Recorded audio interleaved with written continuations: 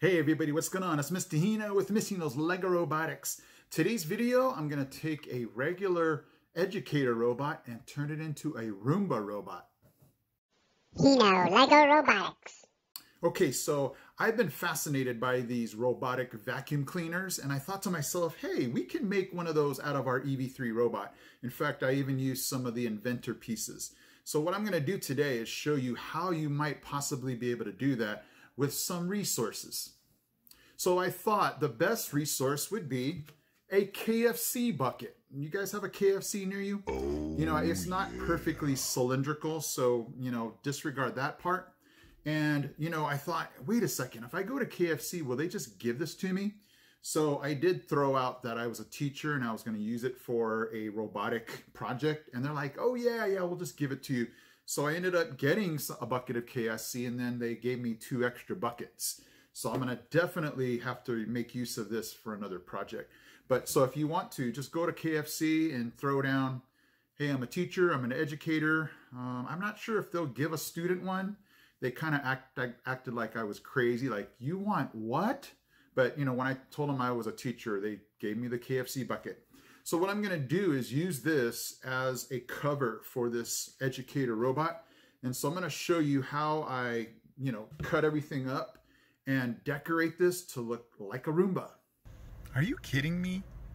So a regular Roomba would be about 3.6 inches high. And I tried to get the robot to be that low to the ground.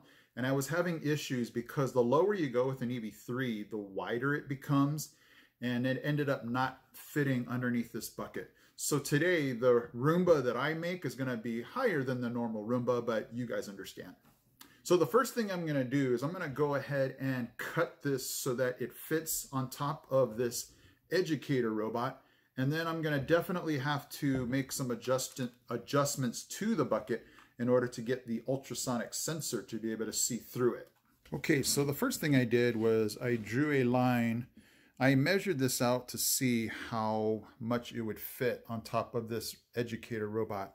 So what I'm going to do is basically just have to cut this out and that's how much of the bucket I'm going to lose. That's probably about two inches.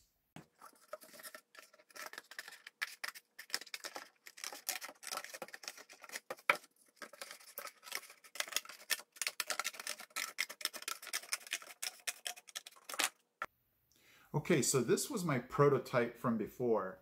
And so what I want is I want to make sure this stays on good. So I put these five hole beams on here. So that way when you put this on, it will, you know, if this thing rotates, this will rotate with it. So all I did was when I put this on, I kind of felt around to see where these would stick up.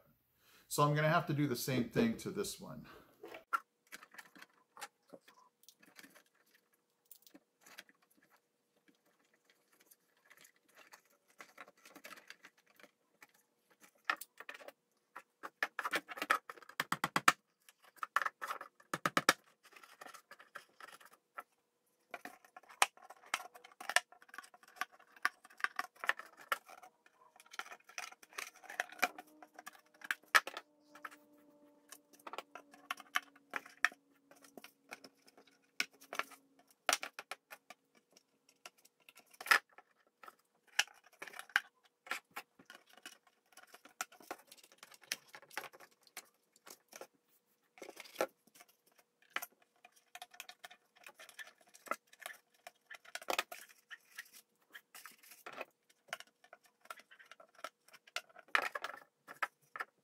Okay, so I just took some black construction paper and put it around the bucket.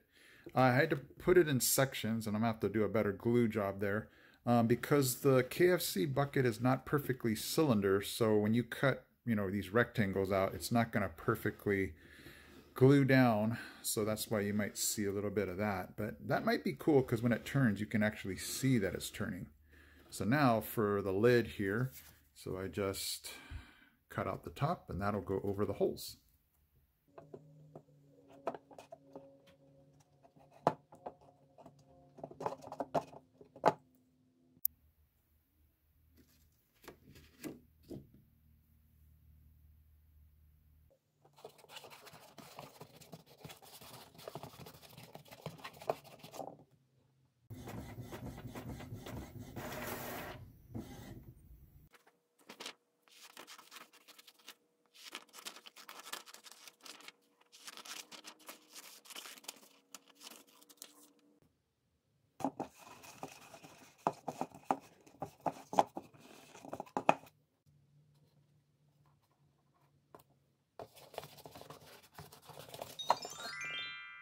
And there we go.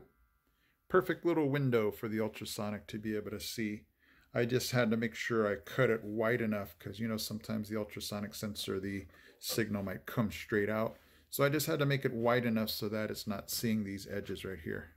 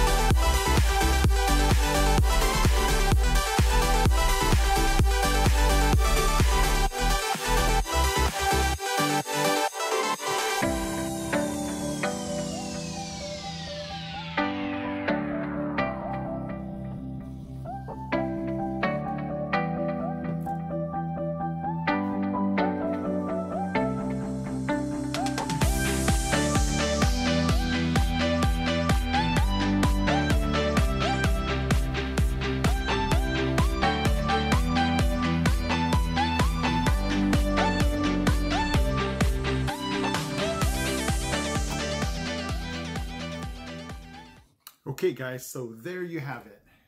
Educator Bot, my Roomba KFC makeshift do-it-yourself robot here. So it was just one of those things where it's satisfying when it comes from, you know, an idea to actually, you know, all of these stages. So definitely want to give props to the folks at KFC for giving me those uh, buckets for free. And then it's just cool to see it go from there to getting the robot built to the programming it to the decorating to making sure everything can work right, you know, to stay on top of the robot, to be able to see, you know, to have that cutout work for to be able to see, hey, I look like Darth Vader. Um, but it's just really neat and satisfying to be able to get that to work and, you know, to look like a real Roomba. So for those of you that have one, it's really cool to be able to, you know, see that it works and, you know, you really don't have to worry about a robot, you know, vacuuming. You just let it go and does its thing. So another cool, satisfying project robot from EV3, and it used some of the inventor parts, the wheels, and I mean, you know, I, I didn't have to use that, but I went with the inventor wheels because if I had gone with the EV3, it would have been too thick. Uh, to for this to fit over. So those inventor wheels, mm, love the uh, just the narrowness of it um, to be able to get things to work. So, okay, guys, hopefully you like that project. I am Mr. Hino from Mr. Lego Robotics. I'm out. He's out. He's out. We got this. We got this. We got this, guys. Hey guys, Mr. Hino here. Thank you so much for watching. And if you love robotics, don't forget to check out these videos also because they're cool. Okay guys, take care. We'll be right back.